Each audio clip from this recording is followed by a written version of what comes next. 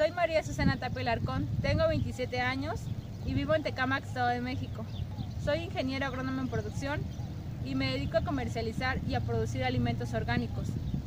Los alimentos que produzco son hortalizas. Como pueden ver, estamos ahorita en el huerto y los alimentos que comercializo están en mi tienda orgánica. Los invito a pasar. Bueno, ya estamos en mi negocio.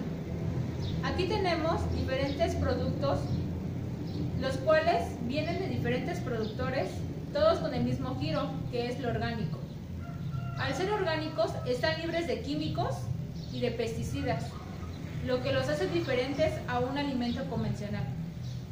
Todos los productos que se encuentran en esa tienda cuentan con un certificado que a nivel nacional es reconocido como el mejor certificado de los productos orgánicos y que a diferencia de otras tiendas,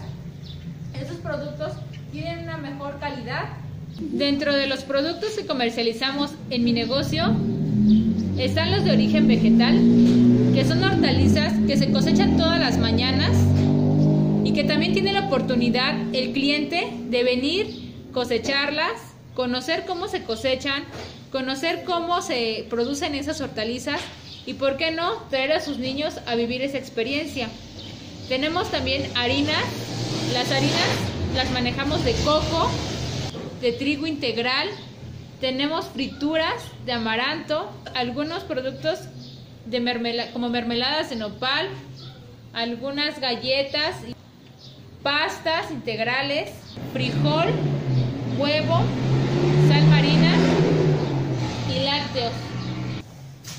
Este negocio lo elegí porque es realmente importante que la población consuma alimentos que le causen un beneficio a su salud. Y esto es una alternativa para todas aquellas personas que necesitan consumir alimentos puros que sean orgánicos. También es una buena oportunidad porque en mi región no hay ningún negocio parecido.